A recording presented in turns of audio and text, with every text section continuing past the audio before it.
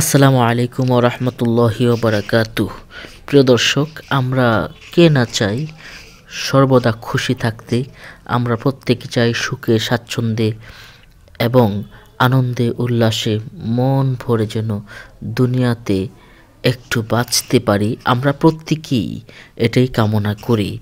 কিন্তু আল্লাহ পাক রব্বুল আলমিন কি প্রত্যেকের কপালে এই সুখ দিয়েছেন?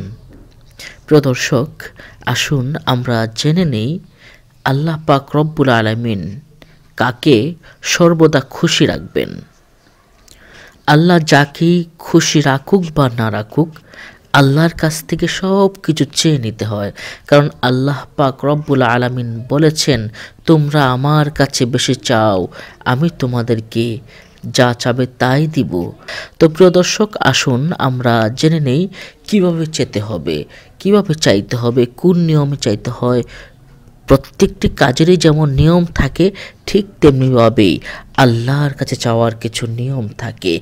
প্রিয় দর্শক, জানাব যে ছোট্ট একটি দোয়ায় আল্লাহ পাক রব্বুল আলামিন আপনাকে সর্বদা সব সময় আপনাকে খুশি রাখবেন। প্রিয় দর্শক, শুরুতেই তিরমিজি শরীফের একখানা হাদিস আমি উল্লেখ করছি।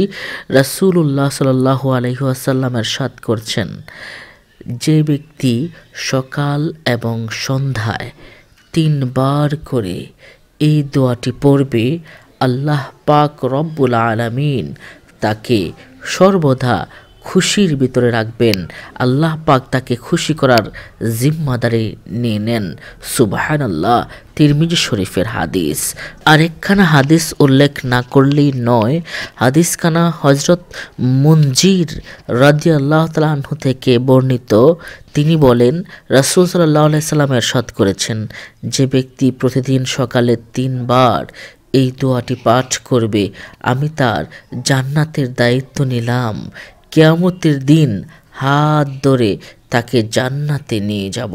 সুবহান আল্লাহ প্রদর্শক মোরজামুল কবিরে এই হাদিসখানা রয়েছে।